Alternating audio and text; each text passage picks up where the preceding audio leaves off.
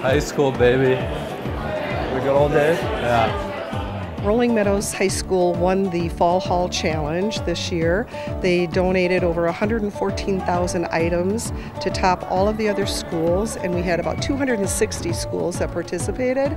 It's kind of close to where I kind of grew up too, so you know, pretty good cause with goodwill and um, you know raising uh, all those donations to win this contest, and uh, you know it's good to kind of give back and kind of be here to show the support for for what they do. Good luck on your game. Thank you. My last year I actually did online school, so I haven't been in the high school environment in a while. It's fun to be back and see all these kids walking around the halls and uh, brings back some memories for sure. Congrats on uh, the Goodwill donation, that's awesome. Uh, it's our pleasure to be out here and uh, let's have some fun here.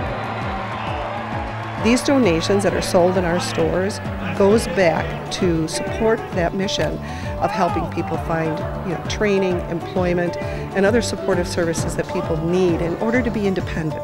Because that's the most important thing of what we do. We want people to be independent.